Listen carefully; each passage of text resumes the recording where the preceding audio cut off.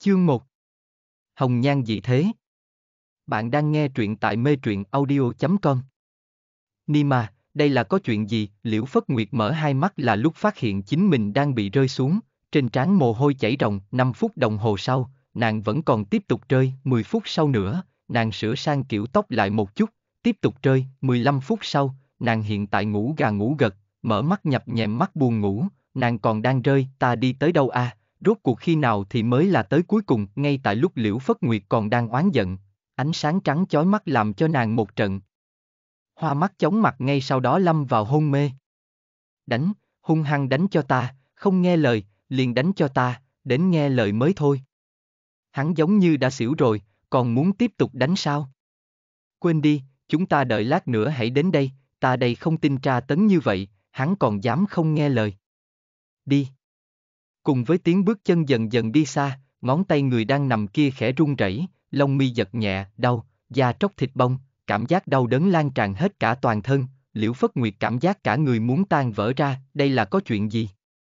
Bỗng dưng kỳ diệu bị rớt xuống, sau đó thế nhưng lại có cảm giác đau đớn như vậy, cả người mệt mỏi, Liễu Phất Nguyệt muốn chống đỡ thân mình đứng lên trước còn phải thật miễn cưỡng, chậm rãi dựa sàn một đi tới, đến cái bàn bên cạnh, dựa vào bàn, chậm rãi nâng người đứng lên, đôi tay chống đỡ trước mặt bàn, cẳng chân lúc này tại như nhũng ra, cảm giác vô lực kiểu này thật đúng là chán ghét, đã bao lâu chưa từng trải qua, Liễu Phất Nguyệt ngồi ở trên ghế bình ổn thân mình, nâng lên đôi mắt trong.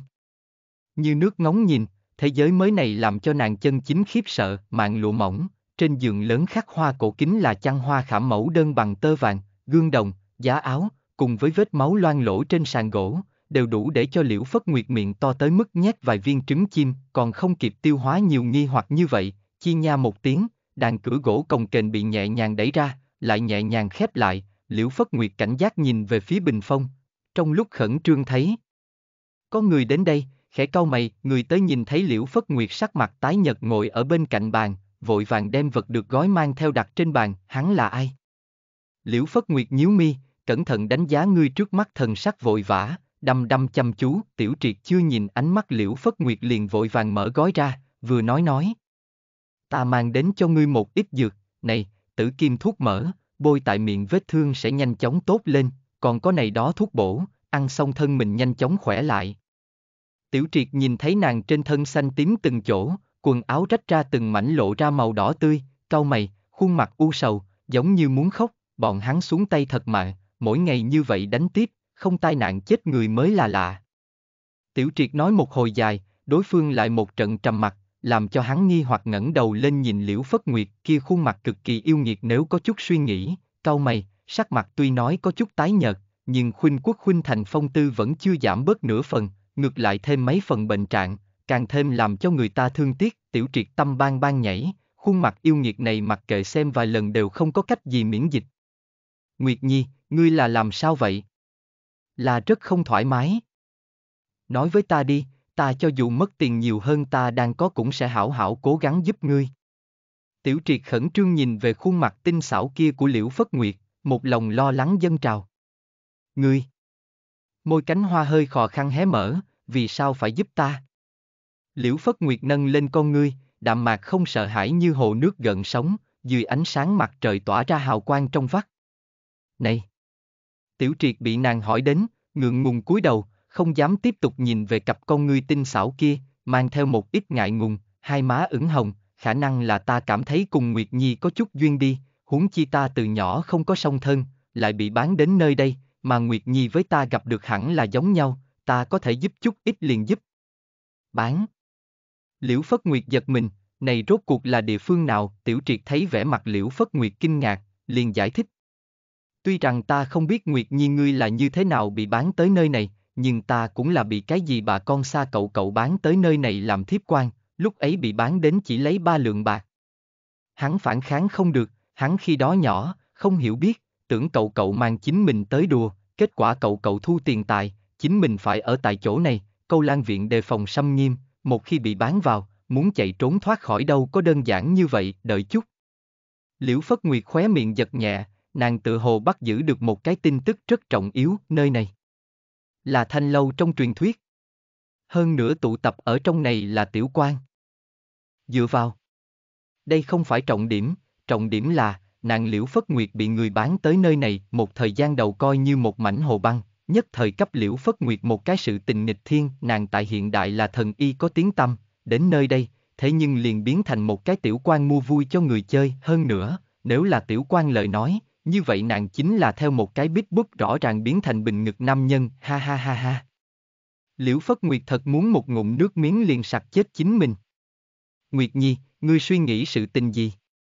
Có chút chuyện, ta cũng không muốn nói, nhưng nhìn hình dáng ngươi hiện tại như thế này, ta cũng không thể không nói. Hắn mày mặt nhăn rồi tới một chỗ ngồi, cúi đầu hạ bàn tay không ngừng vân về trước góc áo, ngươi liền nghe lời của bọn hắn, năm ngày sau tranh phách lần đầu tiên đi, nếu không nghe theo như vậy, ngươi sớm hay muộn sẽ bị bọn hắn đánh chết. Một đôi mắt tinh xảo điềm đạm đáng yêu, ánh nhìn lộ ra sự khiếp đảm rất nhỏ, tranh phách lần đầu tiên. Nói cách khác, nàng bây giờ còn thanh thanh không công, như thế làm cho Liễu Phất Nguyệt nội tâm thoải mái một ít, chẳng qua theo sau nàng lại tiếp tục cau mày, năm ngày sau tranh phách lần đầu tiên. Chả trách vừa rồi nàng trong lúc mơ mơ màng màng nghe được mấy người này đối thoại, nguyên lai là như vậy. Đúng rồi, Nguyệt Nhi, ta trước tiên ly khai, ta cũng là vụng trộm chạy ra, nếu làm cho Cúc cha biết, không đánh chết ta mới lạ. Tiểu triệt cũng khẩn trương đứng dậy, kích động nhìn phía bình phong sau cửa gỗ. U, có chuyện gì ta sẽ tìm ngươi? Nàng nhẹ giọng trả lời, mặc dù đối người này ấn tượng vẫn là thật sự xa lạ, nhưng ít ra hắn đối với mình không có ác ý, hơn nữa lại mang tới cho nhiều dược vật thế này, nàng tốt xấu đã ở hiện đại sinh hoạt 27 năm, làm nghệ y cứu người gặp người trên lại thiên kỳ bách quái, không đến mức đối phương là loại người nào đều im hơi lặng tiếng không phân biệt được, tiểu triệt khẩn trương ra mở cửa, dường như trong đầu vẫn là đang suy tư về bộ dạng vừa rồi của nàng, tuy rằng nàng so với trước kia. Như nhau không nói nhiều lắm, nhưng thân thể của nàng lại có một cổ hơi thở lạnh lùng hơn trước, lắc đầu, không tiếp tục suy nghĩ đi mở cửa, hình ảnh già nua của Cúc cha mạnh mẽ đập vào mắt, sợ tới mức hắn liên tục lui về phía sau. Cúc cha! Ngài đây là... Muốn đến làm gì? Tiểu triệt liên tục lui về phía sau, phía sau Cúc cha là mấy hộ vệ đi theo, bình thường là bọn hắn tới giáo dục một ít tiểu quan không nghe lời, cho nên tiểu triệt đối với bọn hắn có chút kiên kỵ, đặc biệt hiện tại nhìn thấy sắc mặt Cúc cha không dễ nhìn, trong lòng phát run. Ta đã sớm nghe nói Tiểu Mai nói ngươi thường tới trong phòng Nguyệt Nhi, hiện tại quả nhiên không sai, Tiểu Triệt, nhiều năm như vậy, ngươi nhưng là biết tính khí của ta, nếu ngươi muốn thông đồng Nguyệt Nhi chạy trốn, cẩn thận da tróc thịt bông. Hắn nắm Tiểu Triệt nhỏ tế vuốt cầm, khóe miệng dơ lên, nhưng là đáy mắt lại lóe ra thần sắc làm người ta hoảng sợ. Cúc cha, ta không dám, ta chẳng qua là đến xem Nguyệt Nhi thế nào, Cúc cha không phải còn muốn muốn cho Nguyệt Nhi tham gia tranh phách năm ngày sau sao? Nếu thật sự đánh mạnh như thế, cha không phải mất nhiều hơn được sao? Hắn chỉ có thể biện giải theo ý tứ của hắn, làm ở đây nhiều năm như vậy, hắn trong lòng biết không có cách gì đào thoát, cũng chỉ có thể nhận mệnh khả, Nguyệt Nhi hắn không thể giống ta như vậy, rõ ràng là một bé yêu sạch sẽ tuyệt mỹ như thế này, có thể nào để cho khách nhân xấu xa tới vấy bẩn, Cúc cha nghe được Tiểu Triệt nói như vậy mới thả tay đang vuốt cầm hắn xuống, ánh mắt ý tứ sai bảo bọn hộ về phía sau đi vào trước. Cha ngươi là muốn làm cái gì? Nguyệt Nhi nàng hiện tại đã bị thương rất nặng, cầu cha trước tiên buông tha nàng đi, chờ trời sáng lại tới hỏi nàng ý tứ thế nào. Tiểu triệt sợ Nguyệt Nhi kia tính tình lạnh lùng lại đem cúc cha chọc hắn bực bội, lại cấp một trận đòn hiểm độc, mới vừa rồi thấy nàng chỉ còn hơi thở mong manh, chịu đựng không nổi tra tấn. Ngươi xem hảo hảo chính mình làm được gì? Cúc cha kêu trên một tiếng sai ly khai tiểu triệt, thân mình đi hướng bình phong phía sau liễu phất nguyệt, tiểu triệt vốn là muốn rời khỏi, nhưng tình huống này không dám bỏ đi, liền đi theo phía sau hắn đi đến bình phong, kia khuôn mặt yêu nghiệt không gợn sóng không sợ hãi, đạm mạc thần sắc lại ngăn cách với thế giới này, ưu tư chuyển mắt nhìn tới ấm trà trên mặt bàn, rót cho chính mình một cốc trà xanh, vẻ mặt tự nhiên, khóe môi mỉm cười. Nàng còn có vẻ nhàn nhã như thế này. Cúc cha thật là không biết nói gì. Nhìn ngươi hiện tại đã khôi phục không ít, Nguyệt Nhi, ngươi cần phải rõ ràng, ngươi hiện tại đã bị người bán tới nơi này, sẽ tuân theo quy củ nơi này, ngươi nhìn xem ngươi có khuôn mặt xinh đẹp như vậy, này quan to này quý nhân đều thích ngươi, Cúc cha bảo đảm ngươi nghe theo thì sau này sẽ được hưởng hết vinh hoa, cơm áo không lo.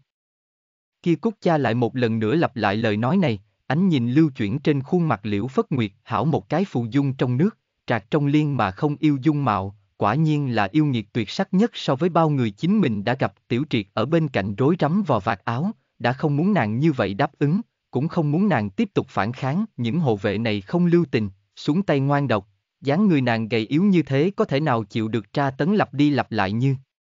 Vậy, Liễu Phất Nguyệt Thiên Thiên ngón tay mân mê cốc sứ, mỉm cười.